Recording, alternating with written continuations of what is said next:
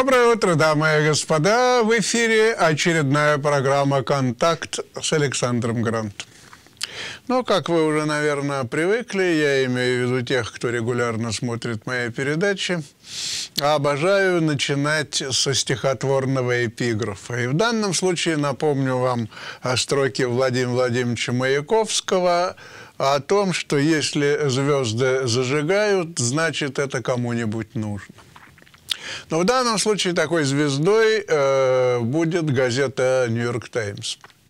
Дело в том, что в субботу э, репортеры «Нью-Йорк Таймс» э, Ри Пестин и Дженнифер Медина написали, что, цитирую, «многие законодатели-демократы и чиновники их партии выражают разочарование борьбой президента Байдена за основные положения его программы, усомнившись в его способности спасти партию от ожидаемого поражения на промежуточных выборах и видят в нем якорь, от которого в 2004 году лучше отцепиться.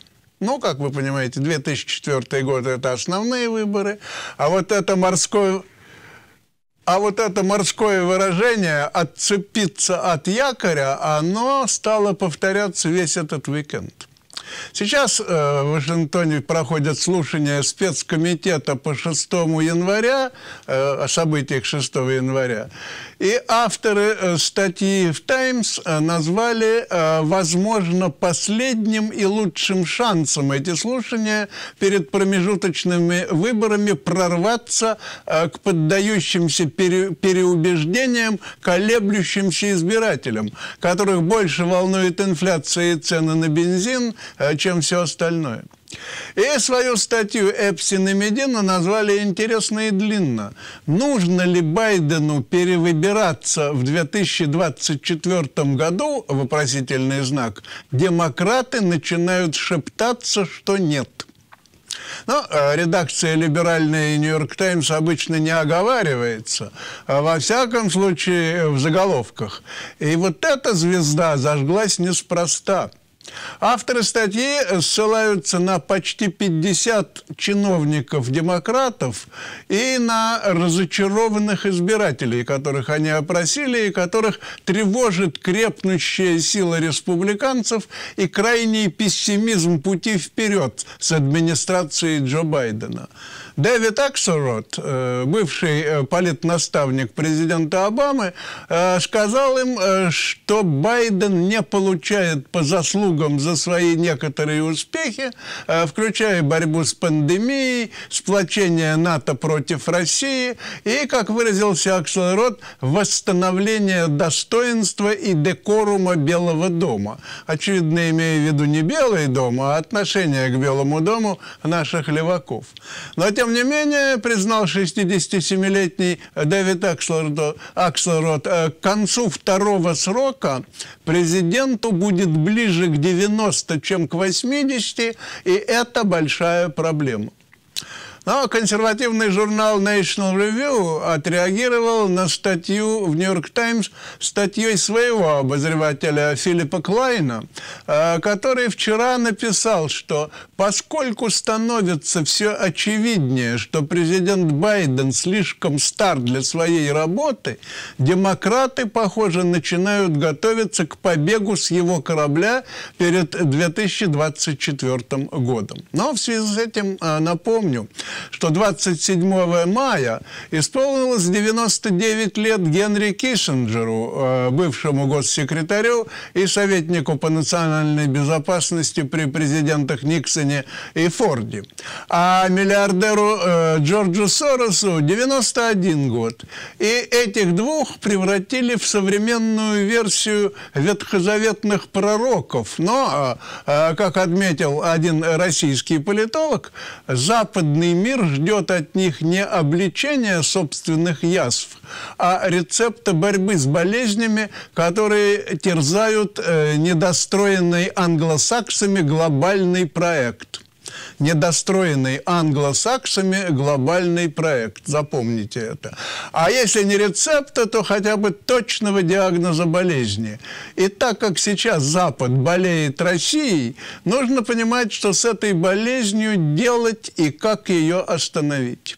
На недавнем э, форуме в Давосе оба старцы, и, Сто, и Киссинджер и Сорос, высказались о России и Китае, обозначив два основных подхода атлантической, атлантической элиты. Подходы принципиально разные, хотя и есть в них одна общая черта – вот об этой самой общей черте, об отношениях э, вновь созданного уже не трехугольника, а четырехугольника, это Украина, э, Россия, э, Китай и Соединенные Штаты, мы сегодня и поговорим с вполне ожидаемой для такой темы собеседником, хорошо вам известным, профессором Танканского университета в столице Тайваня Тайпей, профессором Александром Писаревым, Александр, здравствуйте. Э, доброе утро. Александр, как обычно, я э, задаю вам э, сразу несколько вопросов, а вы мне также отвечаете, что давайте все-таки действовать по одному. А как ответил, если помните, старый опытный э, баран молодому барашку, когда они увидели внизу пасущееся стадо э, молоденьких ярочек.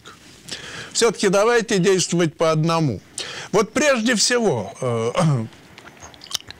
то, что сейчас э, проблема Тайвань э, материковый Китай все чаще преподносится э, на большом блюде солидных политологов, государственных деятелей, я уже не говорю о журналистах, э, как пример для подражания, как э, предупреждение миру о том, что то, что творит э, Путин э, с Украиной, вполне может произойти между Пекином и Тайванем. И что на примере вот этого самого конфликта, который называется специальной военной операции, э, можно делать какие-то прогнозы и какие-то выводы об отношении э, материкового Китая к островному Тайваню. Вот вы замечаете за последнее время э, такие же тревоги непосредственно на тактическом поле обсуждения, не стратегия из-за океанов, а там, где вы находитесь, Александр? Э, да, э, разумеется, вот эти аналогии, они все чаще и чаще обсуждаются ну, не только на, э, так сказать, глобальном уровне журналистическом, но и на нашем региональном.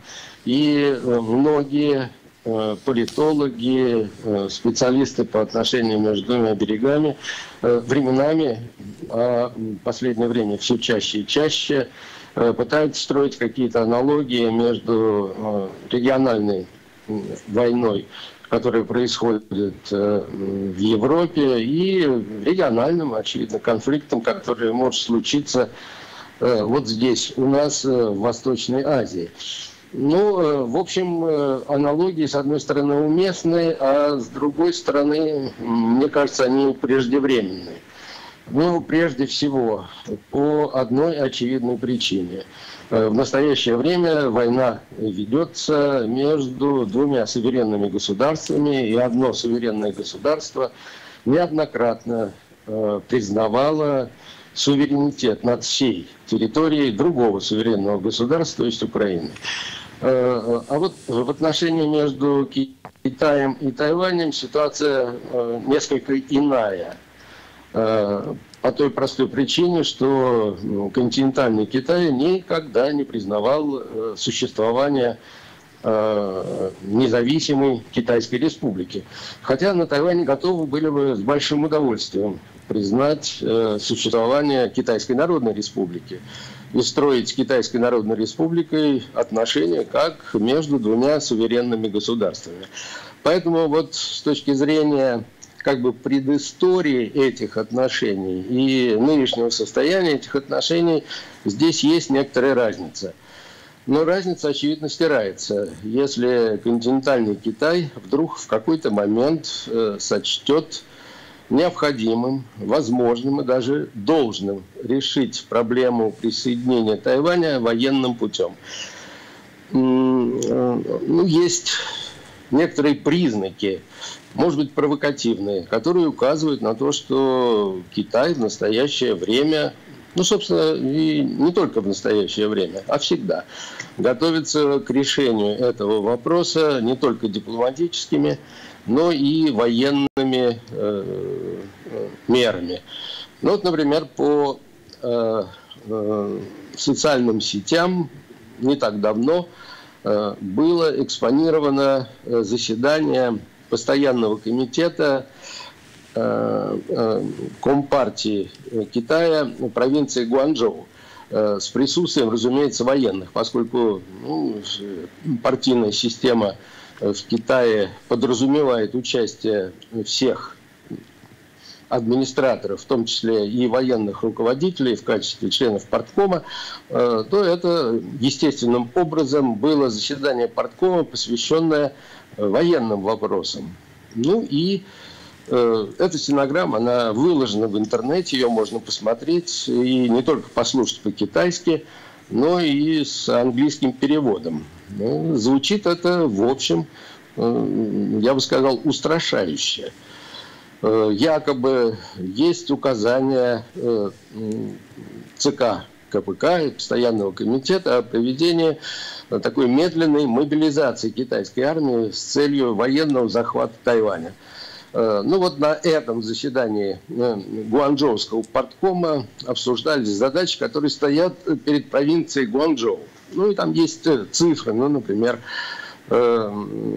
провинция Гуанчжоу должна выставить э, армейский контингент э, в количестве 140 тысяч человек, а после этого следуют очень такие конкретные цифры, сколько там должно быть железнодорожных составов, сколько там должно быть автомобилей, э, сколько резервистов должно ожидать дополнительного призыва.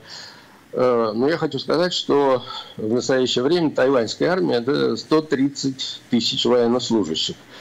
Э, в случае начала военной операции против э, Тайваня, очевидно, будет задействована не только вот та военная мощь, которая сосредоточена в провинции Гуандун, но и в прочих провинциях, которые непосредственно как бы прилегают к Тайваньскому проливу. Э, верить в это или не верить? Э, мне лично кажется, что подготовка к военному решению вопроса в континентальном Китае велась, ведется и будет вестись. Но, а, Александр, ведь мы сейчас э, подходим э, к тому же, о чем мы говорили э, до 24 февраля. О том, что наращивание э, вооруженных сил в пункте А э, до какой-то критической массе Э, неминуемо приведет к использованию этого самого военного потенциала, потому что после определенного уровня уже надо их или распускать и демобилизовывать, либо вводить в действие. Так оно и произошло в случае с Украиной. Но ну, а в данном случае меня э, интересуют два документа. Э, о первом сообщила э, Радио Свобода, Радио Free Asia. Это азиатская редакция Радио Свободы. Э, китайский лидер Си Цзиньпин подписал директиву, разрешающую невоенное использование вооруженных сил. Эти действия вызывают опасения, что Пекин готовится к вторжению на остров Тайвань под видом специальной операции, не, класси не классифицируемой как война, то есть э, калька э, специальной военной операции России. Директива вступает в силу 15 июня, то есть завтра. Она в основном систематически регулирует основные принципы организацию и командования, виды операций, оперативную поддержку и политическую работу, а также их выполнение войсками. Она закладывает правовую основу для проведения военных операций без войны. Это первое. Второе – это 12 июня, конференция по безопасности «Диалог Шангрила» в Сингапуре. Там э, выступил министр обороны Китая э, Вэй э, Фэнхэ. Он заявил, что все попытки отделить Тайвань от Китая обречены на провал. Армия КНР готова к решительным действиям, направленным против таких попыток. Если кто-то осмелится попытаться отделить Тайвань от Китая, китайская армия обязательно будет сражаться против этого, невзирая на цену. Э, Тайвань – это китайский Тайвань, и воссоединение Родины является абсолютной необходимостью.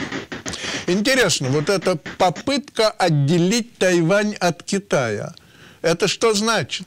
Ведь э, речь идет о том, что китайские вооруженные силы э, вторгнутся на Тайвань и, так сказать, присоединят да. этот остров э, к материку уже, так сказать, политически и административно. Отделить Тайвань, попытка отделить Тайвань от Китая. В чем состоит эта попытка, э, хотя бы по э, замыслу китайских пропагандистов? Ну, Александр, это мантра, которая произносится после 1949 года. Э, ну, примерно каждый второй день после понедельника пропагандистами, э, политическим руководством Китая, и в этом нет абсолютно ничего нового. Вопрос практический. Вот если послушать вот ту запись заседания Гуандунского порткома, то создается впечатление, что действительно э, война может начаться ну, в конце нынешнего месяца.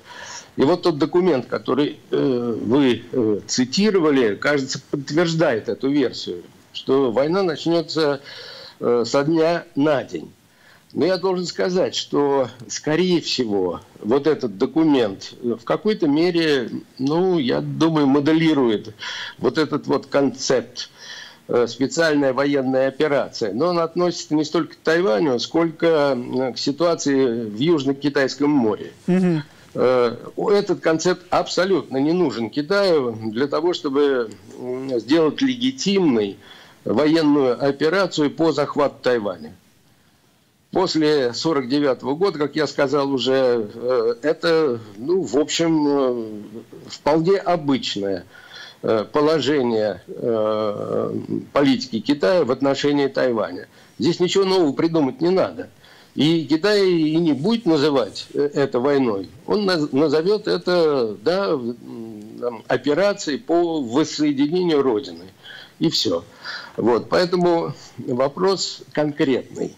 Это будет вот в этом месяце или в следующем месяце, или не будет. И вот если вы меня спрашиваете, Э, ну, разумеется, ничего гарантировать нельзя и ничего сверхопределенного я сказать не могу. Я только могу сказать, что, скорее всего, до 20-го съезда КПК, который должен состояться, очевидно, в конце октября, в начале ноября нынешнего года, скорее всего, ничего не будет. Э, почему?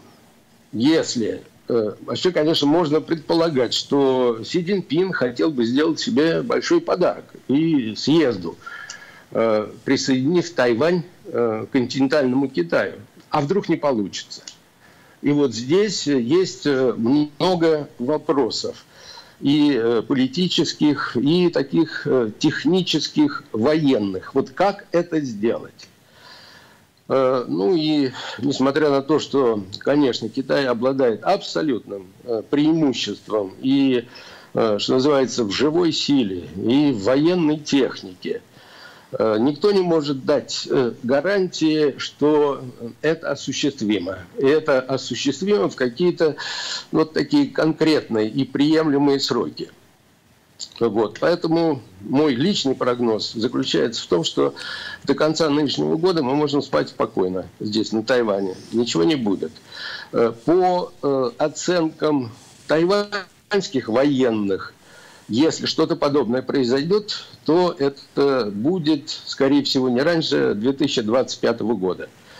Ну, они оценивают э, военную реформу в КНР, военные приготовления, э, ну и полагают, что в общем э, Китай будет готов э, пойти на что-то подобное.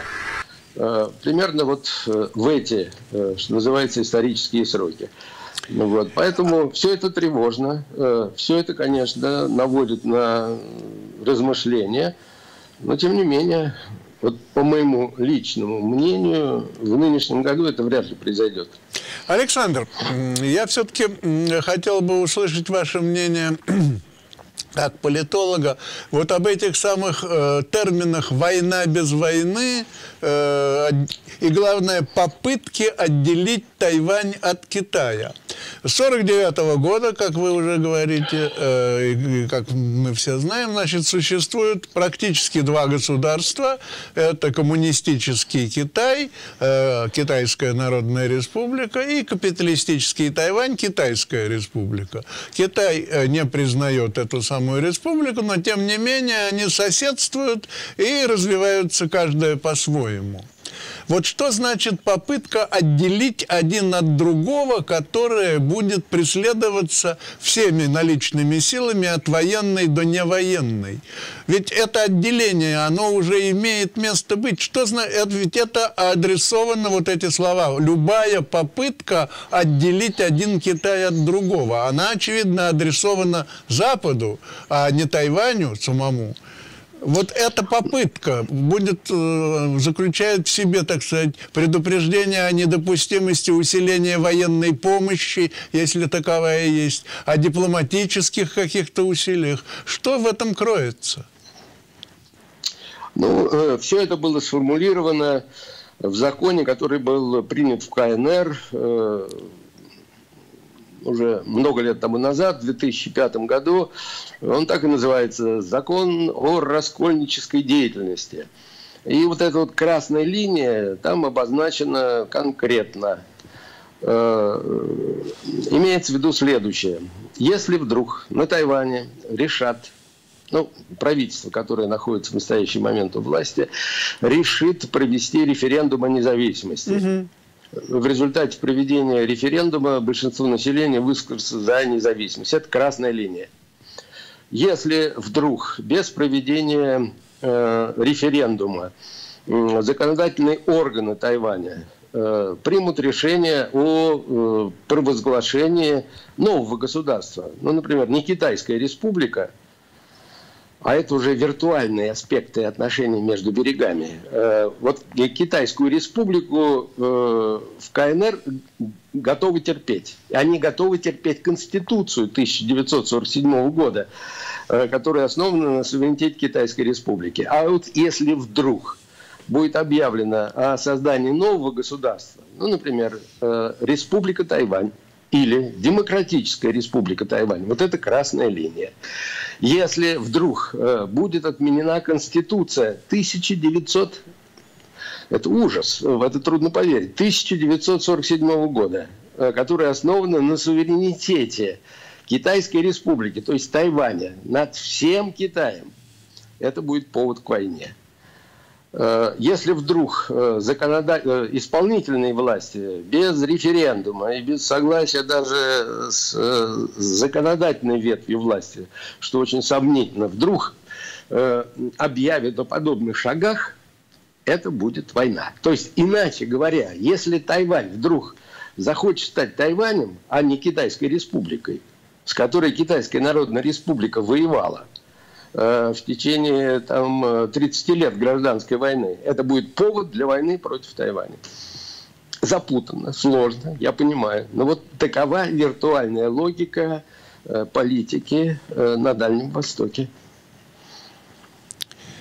Вы понимаете, что э, вот последнее время эти дипломатические игры э, по инициативе, а вернее по недомыслию нашего президента, они сводятся к тому, что оказавшись в той или иной точке земного шара, последний раз это было Токио, во время его азиатского визита, э, Байден, э, значит, в очередной раз заверил Э, международное общественное мнение и э, конкретно правительство и народ Тайваня, что Соединенные Штаты по-прежнему на стороне этой республики и допустил какую-то неосторожную фразу о том, что они э, поддержат это, это желание эту настойчивость, э, так сказать, всеми доступными средствами.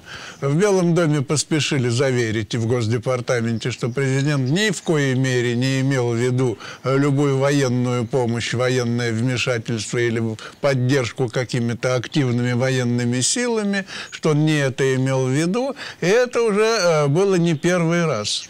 И вот тут уже проследуется прямая, э, так сказать, параллель с тем, что происходит э, между Россией, Украиной и Североатлантическим военным блоком, которые прекрасно понимают, что Россия – это конкретное зло, а Украина – это конкретное добро, но ссориться с Россией окончательно э, не имеет э, стратегического смысла, э, поскольку Россия обладает баллистическими ядерными зарядами, и от этого может пострадать стратегически э, театр военных действий Европы, а еще шире э, весь остальной мир. Вот что-то подобное происходит э, по отношению к Китаю. То есть все прекрасно понимают, что с Китай, Китай лучше не трогать, вернее, этого медведя или дракона, как хотите, лучше не злить до окончательного решения, чтобы он задействовал свои вооруженные силы. Вот эта параллель работает или нет? Это все-таки европейская модель. Вы сказали, что конкретная ситуация между Тайванем и э, материковым Китаем – это совсем другое. Или не совсем, но другое. Вот тут и исторические, и политические, и этнические, и какие угодно не параллели, а чуть ли не перпендикуляры.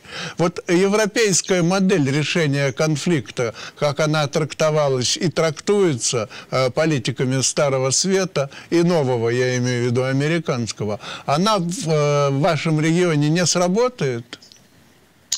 Ну, я не знаю, у нас работает или она не сработает, но э, параллель это довольно условно. Э, скажу вам э, совершенно откровенно. Э, заявление, вернее, разночтение между разъяснениями Госдепартамента и заявлениями американского президента мы с вами обсуждаем, по-моему, третий раз. И именно столько раз вот эти э, расхождения были сформулированы. То есть журналист задает вопрос президенту. Китай нападает на э, Тайвань. Что Америка будет делать? Америка будет защищать, но ну, имеется в виду, используя вооруженные силы Соединенных Штатов в Тайвань. Mm-hmm. Президент говорит, да, it's a commitment. Э, что он имеет в виду? Э, ну, в общем, не очень-то понятно. Э, будет ли Америка защищать, используя свои вооруженные силы, или будет Америка защищать Тайвань, э, наращивая поставки вооружений, ну, не очень понятно. Но, скорее всего, кажется, что президент Байден говорит, что если Китай бабахнет по Тайваню, то вооруженные силы Соединенных Штатов придут на помощь. Э, после этого появляется разъяснение со стороны Госдепартамента, из которых следует, что ничего не изменилось. У нас все та же самая позиция стратегической неопределенности – и вот, э, может быть, там пару раз э, назад, во время нашей встречи, вы мне задавали этот вопрос, э, и я, наверное, как-то ответил, может, не очень разумно. Я сказал, ну, может, президенту много лет, он забыл, что э, насколько сложным является этот вопрос э, об отношениях между двумя берегами, вопрос об отношениях в треугольнике, КНР, Соединенные Штаты и Тайвань. Вот. Хотя он сидел 20 лет в разных комитетах по международным делам. А вот теперь мне кажется, что может быть здесь какой-то такой хитрый ход – вот когда есть вот такое э, расхождение в трактовке между президентом и его э, э, международными советниками, может быть, это только усиливает вот эту вот это ощущение неопределенности. И вот, может быть, и в этом и заключается квинтэссенция происходящего. Ну, вот знаете, вот э, ваш... сам, сам Байден объясняет эту квинтэссенцию э, порывами от чистого сердца, э, которые иногда переполняют обязанности президента. Как он объяснял это последний раз, когда ему задавали вопрос, а что же вы в Токио говорите одно, а ваш госдепартамент говорит другое. Он говорит, вы понимаете, я высказывался от чистого сердца и, возможно, возможно, так сказать, э, ляпнул лишнего. Но я говорил ну, то, что мне подсказывают да. порывы, э, так сказать, я не знаю, чистой морали, человеколюбия, гуманизма и так далее. Но смотрите, ну, ведь до сих пор, э, пока Америка существовала как говорили про нее, как непотопляемый авианосец, и существовала так называемая доктрина Монро, ведь что происходило во время любого обострения отношений э, или во любого конфликта, который Соединенные Штаты считали так или иначе для себя потенциально опасным, то без объявления каких-либо обострений дипломатических в относительно широкий район возможных военных действий, вводилась американская авианосная группа, будь то шестой флот или не шестой флот, э, которая в оперативной близости от данного региона э, начинала мирно курсировать. Авианосная группа – это непосредственно сам авианосец, оснащенный крылатыми ракетами, э, способными долететь до этого региона, сопутствующими двумя-тремя ракетными крейсерами, несколькими подводными лодками. Это несколько тысяч морских пехотинцев, готовых высадиться в данном регионе. Но вся эта группа немедленно появлялась в этом самом регионе. И конфликт потихонечку затихал. Он никогда до сих пор не перерастал в широкомасштабные военные действия. Вот сегодня, в данном случае, по отношению к э, континентальному Китаю, это тоже ведь не сработает.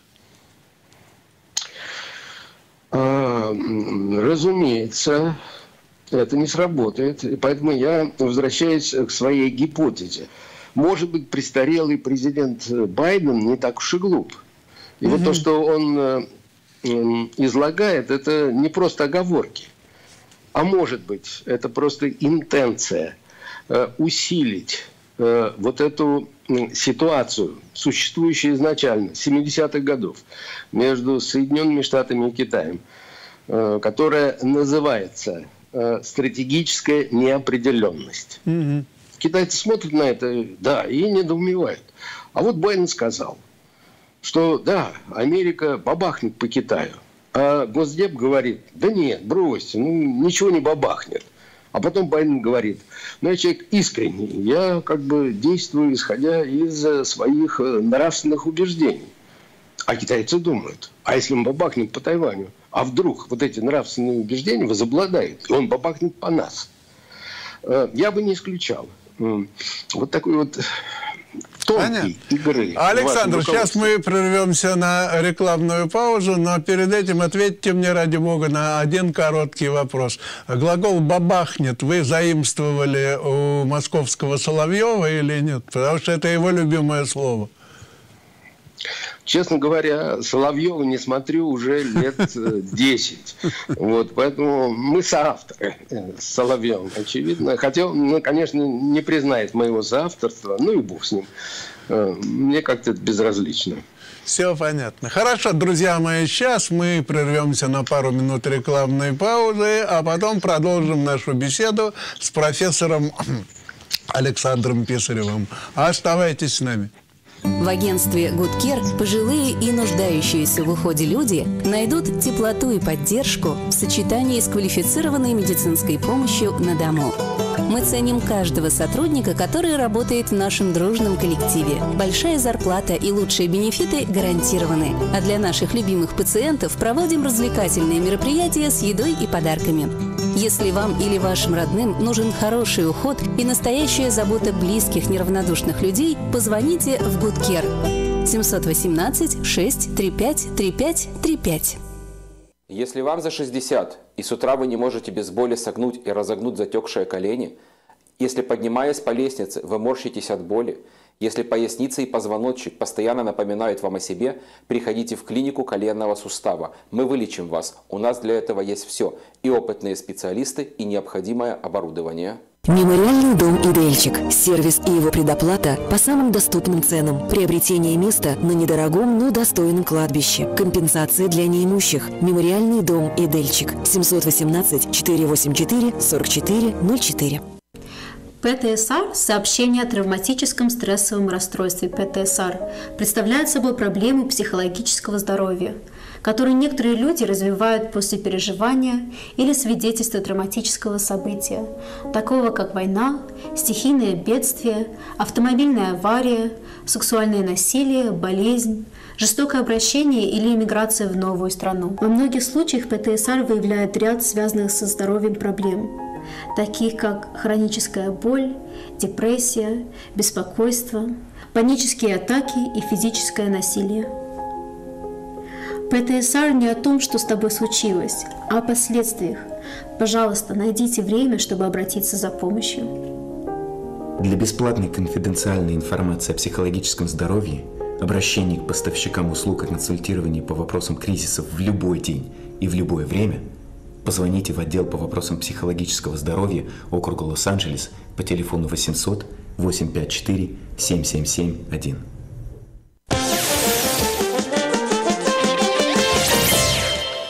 И еще раз здравствуйте, дамы и господа. Напоминаю, что вы смотрите программу «Контакт», в которой сегодня принимает участие ее постоянный ведущий Александр Грант и профессор э, Танканского университета на э, Тайване Александр Писарев, ну и сообразно месту его пребывания и его профессии как синолога, э, мы говорим об отношениях между островом Тайвань, материковым Китаем, всем миром, ну и, конечно, применительно к тому, что происходит сейчас между Россией Россией и Украиной э, при участии, э, точнее, при желательно большем участии, желании или нежелании, охоте или неохоте Североатлантического альянса, то есть НАТО, куда входят наши Соединенные Штаты. Итак, с 22 по 26 мая на швейцарском э, курорте Давос прошла очередная ежегодная встреча Всемирного экономического форума, куда съехались и главы государств, и ведущие экономические деятели, судили-рядили. И, конечно, тема конфликта между Россией и э, Украиной стала основной.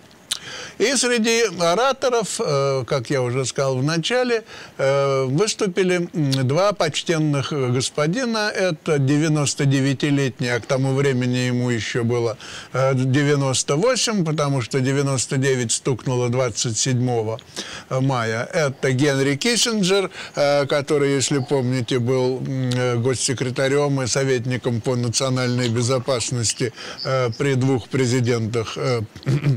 И венгерский еврей Э, Джордж Сорос, у которого несколько паспортов, включая паспорт Соединенных Штатов, они выступили со своими рекомендациями и предупреждениями. В частности, э, Киссинджер предложил все-таки решить эту проблему тем, что э, Украина должна пойти на некоторые уступки России для того, чтобы прекратить это бессмысленное и почти что бесконечное, во всяком случае, продолжительное кровопролитие а э, Сорос заявил, что война должна вестись до победного конца, пока э, Россия не будет, э, Россия Путина не будет сломлена, если вообще не уничтожена. Так вот, мой вопрос, э, который я э, задал профессору Писареву в самом начале. И э, Сорос, и Киссинджер, и многие другие все-таки руководствуются какими-то незыблемыми рецептами дипломатических решений – ну, я не знаю, если не очень отдаленного прошлого, то, во всяком случае, э, времени после Второй мировой войны, а вернее, времени холодной войны между бывшим Советским Союзом и странами-сателлитами и Западом э, во главе с Североатлантическим альянсом. Но смотрите, профессор, ведь И раньше мы говорили о том, что существует дипломатическая школа итальянца Макиавелли. Мы говорили о том, что существуют какие-то древние рецепты китайских э, дипломатов, императоров и политиков. И говорили, что вот эти самые рецепты, во всяком случае, э, в международных отношениях, особенно в разведке, они живы до сих пор, и их очень эффективно э, применяют, так сказать, под сукном. Вот эти рецепты прошлого, на ваш взгляд, как политолога, они имеют право на существование и э, применение? Или это все забытое? Я думаю, что это все не забыто. Это используется и используется зачастую очень эффективно. И вот мне кажется, что э, западные спецслужбы провели весьма эффективную спецоперацию на уровне спецслужб. И результатом этой спецоперации э, было то, что руководство России 24 э, февраля исходило из абсолютно неадекватной картины состояния украинского общества – украинской армии и э, готовности западного мира соответствующим образом реагировать на э, те действия, которые произошли со стороны России. Действует. И я еще раз хочу сказать, по моему скромному, ну не убеждению, но мнению, западные спецслужбы переиграли в этой игре по ряду обстоятельств в общем, во многом очевидных. Э, российские спецслужбы и российское руководство. Результатом было то, что российское руководство было уверено в том, что можно начать войну 24 февраля, а 2 марта можно закончить эту войну парадом Победы на Банковской улице и на Крещатике в Киеве. Не, ну из Блицкрига ничего не получилось, это понятно. Но вот все-таки интересно. Э, Россия и Украина. И на уровне спецслужб Казалось бы, у России есть ну, несравнимое преимущество э, по сравнению, скажем, с Центральным разведывательным управлением Соединенных Штатов, э, британской Александр, разведкой. извините, я вас Или всеми слышу. остальными. Можно чуть громче? Да чуть громче. Можно? Я плохо слышу. Ну, это сейчас попытаемся. Сделайте, пожалуйста, погромче. Сейчас лучше или нет? Нет, то же самое. Едва слышу, Александр. Так, так, так, сейчас. Ну, получается, что я говорю сам с собой. Нет, нет, нет. Э, вот сейчас э, не очень отчетливо, но я слышу. Я понял ваш, ваш вопрос. Э, Центральное разведное управление понимало ситуацию на Украине хуже, чем, э, предположим, служба внешней разведки и ФСБ России. Э, вопрос такой, да? Нет, я, я, я говорю о том, что вы понимаете, да это понимают все, у кого есть частица здравого смысла. Существует Украина и Россия. Страны, населенные практически одноязычными людьми. Э, во всяком случае, даже украинцы, которые живут на Западе, они все равно э, в основном свободно говорят по-русски. Многие учились э, в одних и тех же специальных высших учебных заведениях, вроде школы имени товарища Андропова, а сейчас работают врагами друг против друга. Ведь, казалось бы, при подготовке такой операции у российской спецслужбы есть гораздо больше возможностей и оперативных, и штабных, и кабинетных, нежели у заокеанских кураторов. Но получилось наоборот, что Россию ввели в заблуждение именно вот этими западными, далекими какими-то средствами. Вот как это объяснить? Ну, э, ну, это уже объяснено на уровне экспертов, э, на уровне социальных сетей. Э, дело в том, что не только, очевидно, западные, и прежде всего ваши э, спецслужбы э, все время нашептывали, Украина готова к тому, чтобы упасть в руки России. Но и российские спецслужбы делали то же самое. Ну, ну, это, в общем, всем известная история про ФСБ. И вот это пятое управление ФСБ, там несколько сотен офицеров, которые занимались э, только одним. Они вербовали, вербовали и сообщали о том, что э, все спецслужбы Украины и вся украинская армия э, ждут и не дождутся вступления mm-hmm. российской армии на территорию Украины. А уж народ тем более будет встречать с цветами. То есть э, это была очень интересная штука. Здесь в унисон работали российские и американские спецслужбы, но э, они работали по как бы разным причинам. И э, цели были разные. Э, американские спецслужбы э, стремились убедить руководство России, что все возможно. И Украина готова упасть в объятия России. И российские спецслужбы делали то же самое. Но цель-то была другая цель была... Да, а, том, Александр, говоря, говоря шершавым языком плаката, ведь то, что э, готовил Путин э, и своим блицкригом, и э, всеми остальными действиями, оно фактически называлось государственным переворотом. То есть быстрый бросок, молниеносный бросок, победный бросок десанта в Киев, э, захват правительственного учреждения, э, Зеленского под белые руки выводят в наручниках или без наручников, и к власти приходит новое руководство.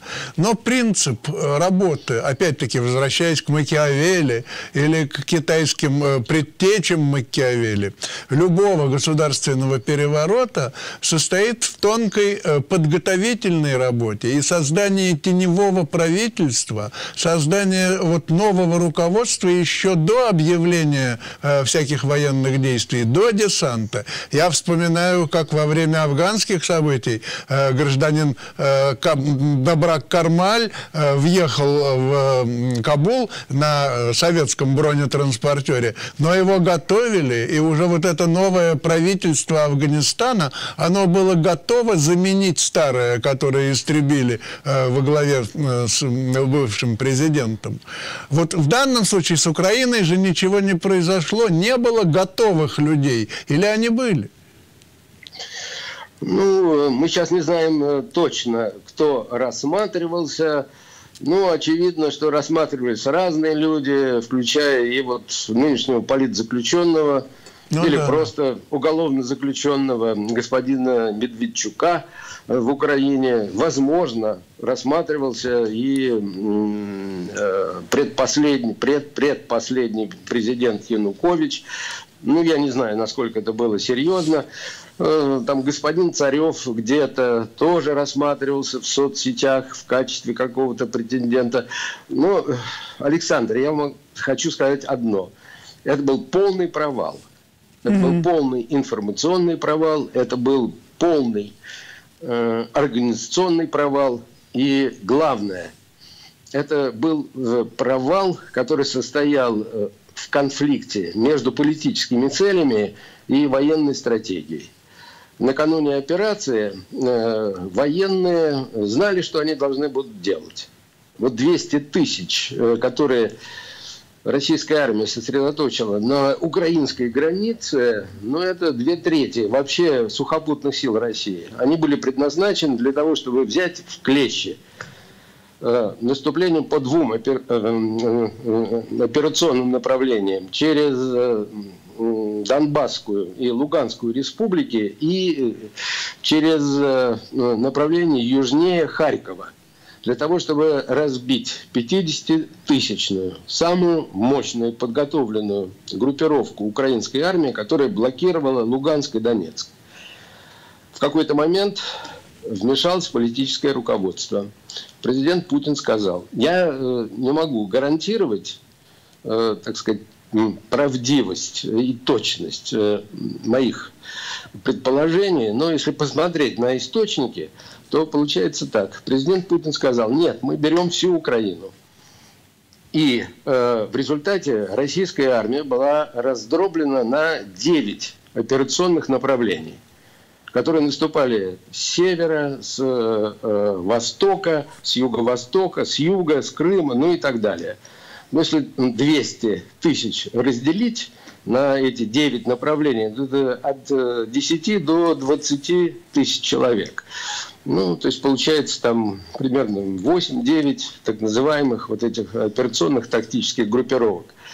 Э, в результате э, в нарушении всех принципов традиционной военной стратегии, вместо того, чтобы сосредоточить все силы на одном направлении, эти силы ударили такой вот, ну, как бы э, пятерней.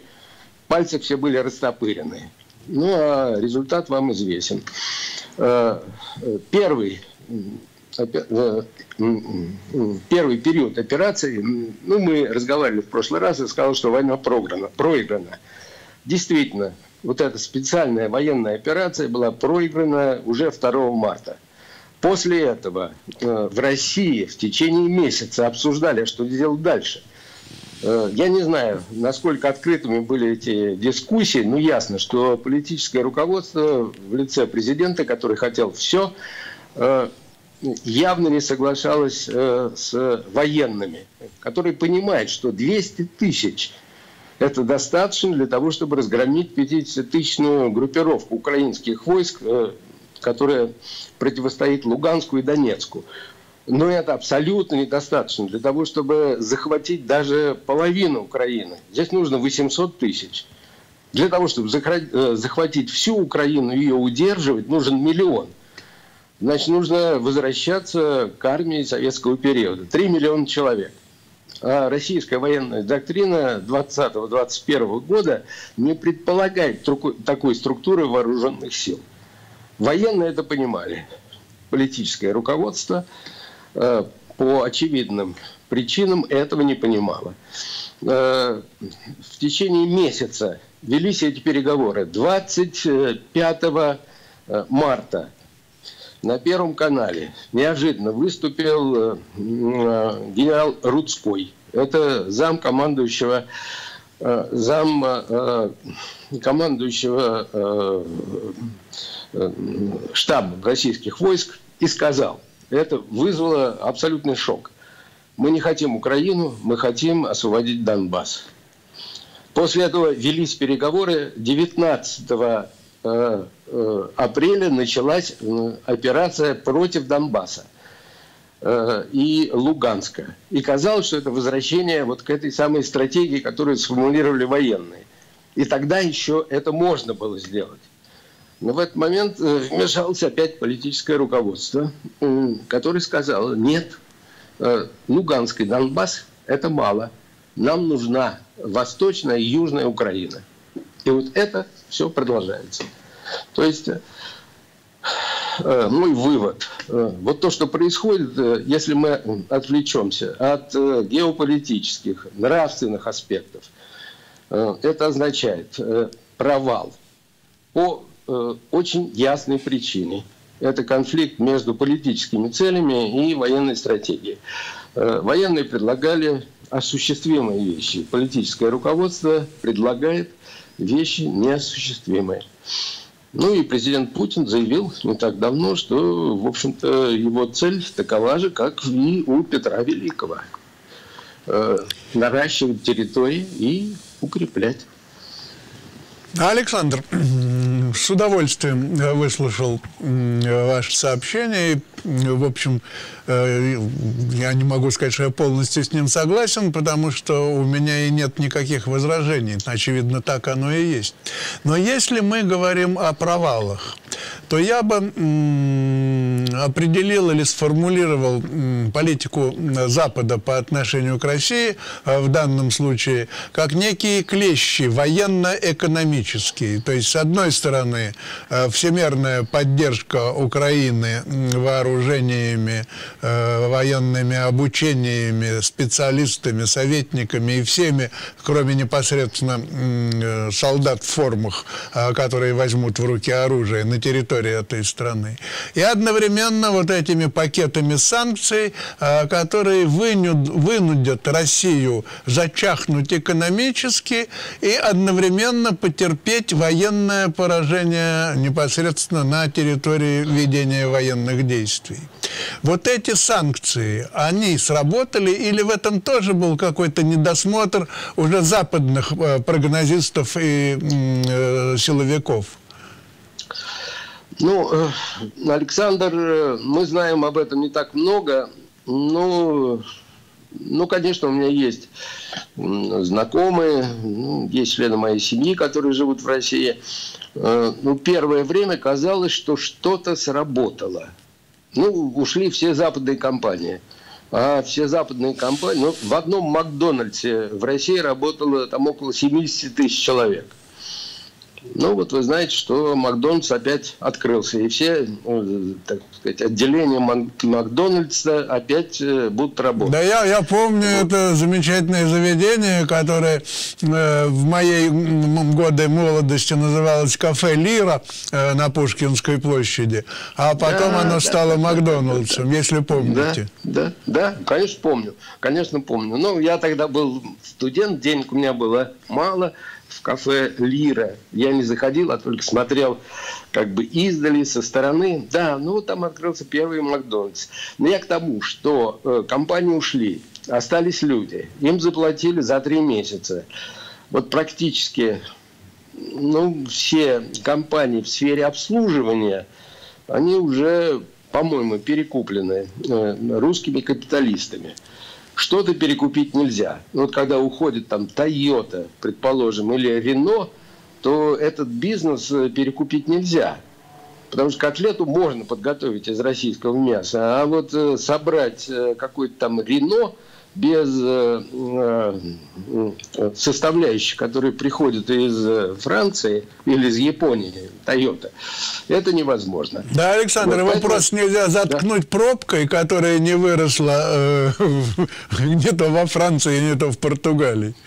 Ну вот, э, да, в том-то и дело. Ну, даже можно сделать хамон. Между прочим, я как-то позвонил, спросил, а хамон есть? Ну, говорят, есть какой-то русский хамон. Mm-hmm. Вот я спрашиваю, а по вкусу? Ну, говорят, и по вкусу тоже, ну, примерно так же, как Биг Мак, но без Макдональдса. Вот, э, что-то можно сделать, но, э, да, и мне говорили о том, что какие-то вещи пропали, например, гречка пропала, э, выстроить очереди за сахаром, вот, какие-то еще вещи стали пропадать. Вдруг в магазинах не стало холодильников, не стало стиральных машин и даже телевизоров. Но вот это власть потерпеть не может, потому что главное средство политической мобилизации – телевизор. Но э, по прошествии трех месяцев мне все говорят, все, все как было, примерно как раньше. Полки забиты, все есть, все можно купить. Цены росли, а потом вдруг они стали э, как бы... Но смотрите, ведь э, нормальный, нормальный подход западного политолога и политтехнолога состоит в том, что да, силами этих экономических санкций мы опрокинули эту страну, а, вернее ее, значит, сбили с ног на колени, есть там нечего, пить нечего, заводы больше не производят ширпотреб, приняв ванну нечем вытереться, и все это озлобляет озлобляет население, и население начинает протестовать, и происходит то, что должно происходить. Революция, или, я не знаю, контрреволюция, что угодно. Но здесь мы видим другое, что это вызвало дикую волну ура-патриотизма, и рейтинг Путина еще больше поднялся. Ну, э, насчет рейтинга Путина я не уверен. Насчет поддержки войны я абсолютно не уверен. Э, вот э, те меры, которые были приняты э, правительством, кстати сказать, правительство должно было поклониться первый раз в ноги российскому бизнесу. До этого, но Путин на него как-то смотрел пренебрежительно, презрительно. А вот теперь уже были объявлены меры, которые должны как-то способствовать развитию бизнеса в России. Э, ну, если в какой-то мере коллапс, крушение российской экономики может быть отсрочено, Только это за счет э, выросшего на протяжении последних 30 лет и довольно успешного русского капитализма. Ну, все ясно. А... То есть это вопрос времени. Но время нашей передачи, к сожалению, подошло к концу. Я благодарю профессора Писарева за этот час нашего диалога. Благодарю вас, профессор, от имени нашей аудитории. Благодарю Спасибо. нашу аудиторию за то внимание, с которыми вы нас смотрели и слушали. И мы прощаемся с вами до следующей встречи в всего хорошего.